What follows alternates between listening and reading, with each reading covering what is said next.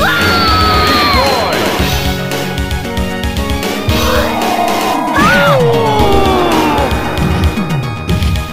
picked a fight with the wrong person!